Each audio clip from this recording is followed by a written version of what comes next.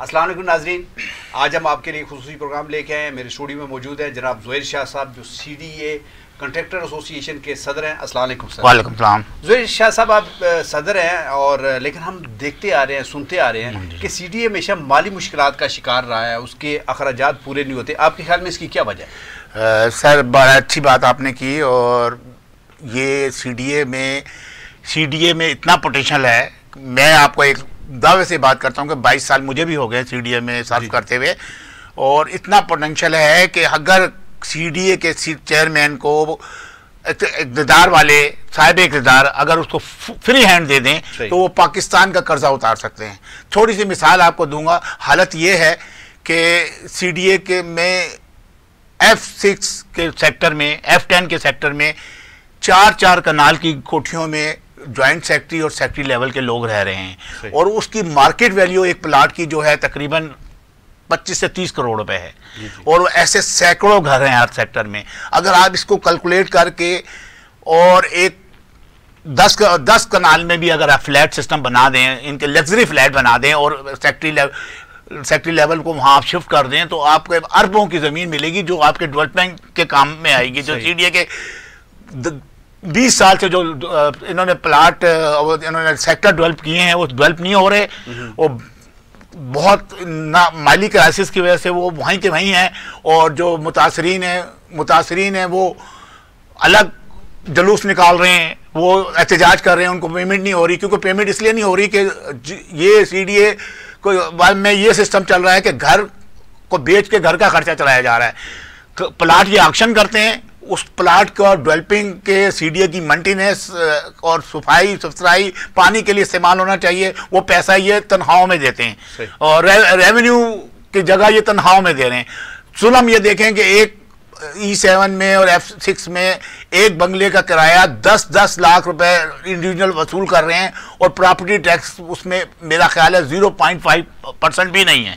अच्छा जी मैं थोड़ा अ, हमने ये देखा है कि अभी बहुत अरसे बाद जो चेयरमैन है आमिर अहमद अली हम्म, साहब वो बड़ा काम करवा रहे हैं बड़ा रेनोवेशन का काम हो रहा है सड़कें मरम्मत हो रही है उसमें अब कारपेटिंग हो रही है। तो आप हम समझते नहीं कि ये चेयरमैन के पास इख्तियारात भी हैं और ये काम भी करवा रहे हैं? सर बिल्कुल आपने अच्छी बात की और बड़ा पॉइंट आप किया पॉइंट की बात की है कि वाकई आपको पता है कि जब एक दरबारी अंसर शेख नामी बंदा मेयर इस्लामाबाद बना और मेयर इस्लामाबाद बनने के बाद उनको शहनशाह आलम जनाब नवाज़ शरीफ साहब ने चेयरमैन सीडीए लगा दिया जो गैर कानूनी है। पहले उसको बोर्ड का मेंबर बनाया गया उसके बाद उसको चेयरमैन सीडीए लगा दिया गया। वो तकरीबन डेढ़ साल दो साल चेयरमैन सीडीए लगा कोर्ट ने उसको ख़त्म किया। तो जब जिस जिस मुल्क में ये हालत हो कि आप दरबारी को चेयरमैन सीडीए लगा दें तो उस क्या हालत होगी? तो मसला ये है कि वो ढाई साल जो एमसीआई को इन्होंने अलग किया मेयर मेयरशिप में दिया तो तकरीबन 80 परसेंट जो महकमे हैं उन्होंने सीडीए से लेके एमसीआई को दे दिए। मेयर को दे आ, मेयर को दे दिया। अब मेयर को जब मे- महकमे गए तो मेयर साहब ने काम करने की बजाय इनसे टसल शुरू कर दी। इसमें यह हालत थी कि मेयर साहब के पास फाइनेंस विंग था ही नहीं।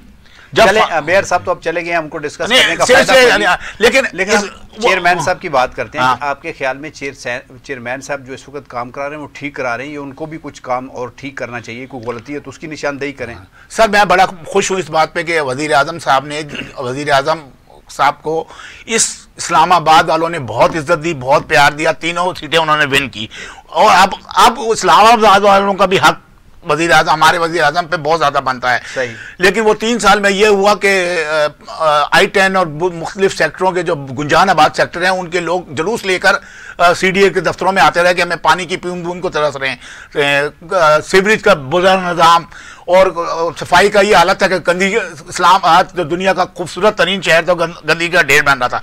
अब इसमें वज़ीर आज़म साहब ने बड़ा इनिशिएटिव लिया है कि चेयरमैन सी डी ए को फ्री हैंड दिया और मैं तब मैं अली अहमद जो हमारे चेयरमैन हैं मैं उनकी बिल्कुल दिल से उनकी गहराइयों से उनको की, की, को अप्रिशिएट करता हूँ कि उन्होंने ये छः या सात माह में रिकॉर्ड तोड़ काम कराए। हैं आप देख लें इस्लामाबाद में आपको सफ़ाई भी नज़र आ रही है रोडों पे फुटपाथों पे मरम्मतें हो रही हैं पानी का ये हालत है कि सारी लाइनें रिपेयर हो रही हैं जो सत्तर साल पुरानी अच्छा लाइनें शाह जी क्या आप समझते नहीं कि ये जो मजाफाती इलाके हैं जैसे बारह कऊ है या छोटे सेक्टर हैं जी सेक्टर हैं आई सेक्टर हैं आई एट तो ठीक है लेकिन आई नाइन की हम बात करेंगे हम कराची कंपनी की बात करेंगे। ये अदम तोजही का शिकार है इन पर वो तवज्जो नहीं दी जा रही जहाँ पे ज़्यादा लोग रहते हैं। ये सही बात है कि वहाँ पे ज़्यादा उमरा नहीं रहते गरीब लोग रहते हैं मुतवसत तबके के लोग रहते हैं।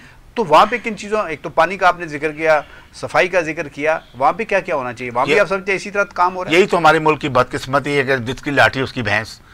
अब क्योंकि E sector E F six F ten F eleven में उमरा रहते हैं बीस बीस करोड़ दस दस करोड़ रुपए की कोठियाँ हैं तो लाजमी तौर पे उनकी इतनी अप्रोच है इतनी उनकी ताकत है कि वो आई टेन और जी वाला सेक्टर जो हैं, जो क्वार्टर के लोग हैं, उनका हक तलब करते हैं और उनका काम नहीं होता लेकिन इस चेयरमैन ने कोशिश की है कि पूरे इस्लामाबाद में काम कराए और मैं वज़ीर आज़म साहब से रिक्वेस्ट करता हूँ as a contractor president C D A कि आपने अली अहमद को फ्री हैंड दिया है और उसको प्रूफ किया है। आप मजीद उनको, उसको उसकी हौसला अफजाई करें तो मैं समझता हूँ कि बहुत जल्द इस्लामाबाद की खूबसूरती और इस्लामाबाद की सफ़ाई आपको नज़र आएगी।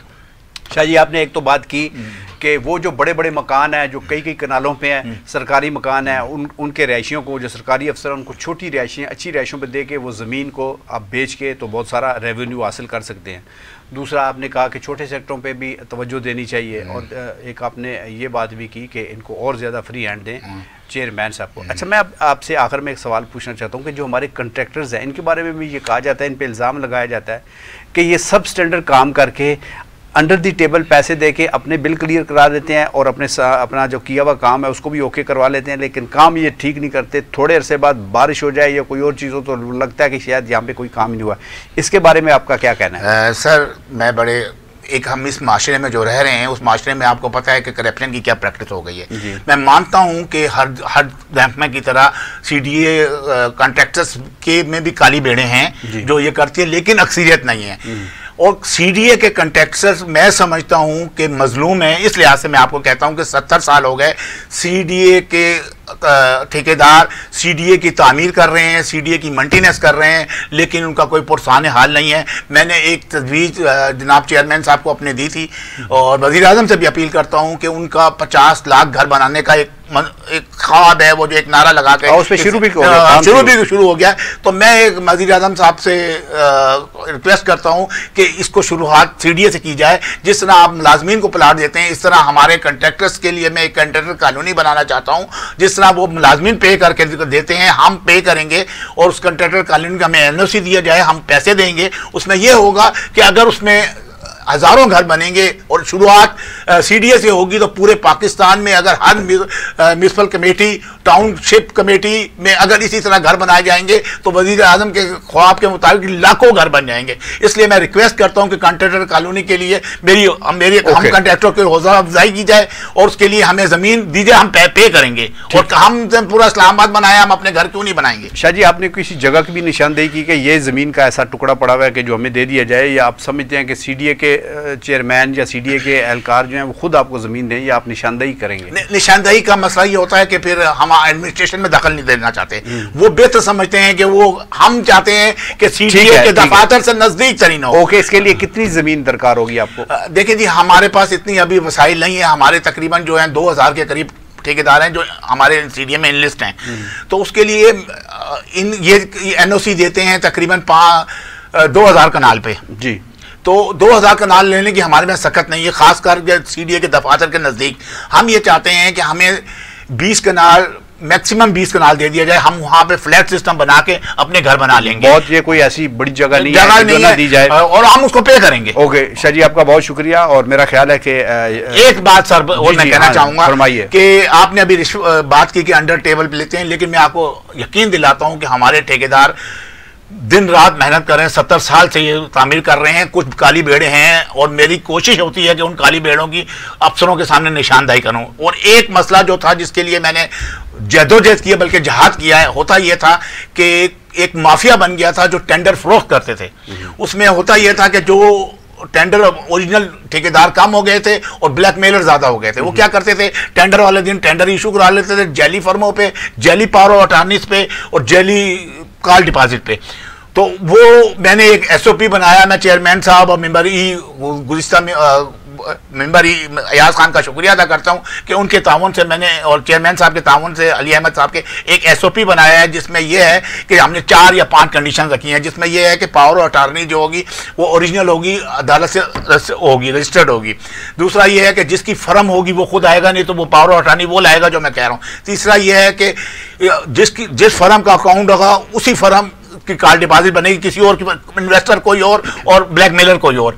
और तीसरा ये है कि हमने कार डिपॉजिट को वर्क ऑर्डर तक डिपॉजिट बैंक में करना है। पहले ये होता था कि दो दिन के बाद कॉल डिपॉजिट रिलीज़ हो जाती थी, वो पैसे लेके फिर ब्लैकमेल करने चल पड़ते थे। अब मैंने ये चेयरमैन के ताउन से ये एसओपी बनाई है कि कॉल डिपॉजिट जो है वो सीडीए के अकाउंट में जमा होगी और वर्क ऑर्डर के रिलीज़ होगी जो चार महीने लगेंगे। अब इससे बहुत ताउन हो गया जो आधा पैसा बगैर किसी काम के ब्लैकमेलरों की जेब में जा रहा था, तकरीबन एनआईटी का सत्तर तीस फ़ीसद, वो इनशाला पाँच या छः पे आ गया ये एक बहुत बड़ा जहाज़ है और मैं कर रहा हूँ मुझे जान से मारने की धमकियाँ भी दी जा रही है, लेकिन मेरी जब तक जान में जान है और मेरे चेयरमैन मेरा साथ देंगे तो मैं इस काम को करूँगा।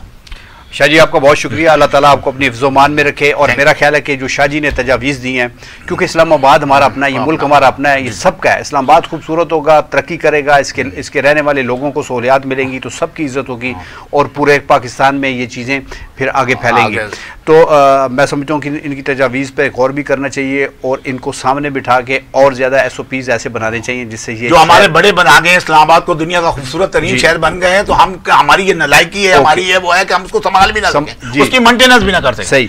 तो अगर ना कर सके तो हमारी बेतस्तनी होगी और आने वाली नस्लें हमें अच्छे नाम से याद नहीं करेंगे। जी जनाब तो इस पर ज़रूर अमल होना चाहिए। हम भी कोशिश करेंगे। हम्म। शाह जी आपका बहुत शुक्रिया। आप देखने वालों का शुक्रिया। हाँ, हमारा चैनल सब्सक्राइब कीजिए लाइक कीजिए शेयर कीजिए। पाकिस्तान जिंदाबाद।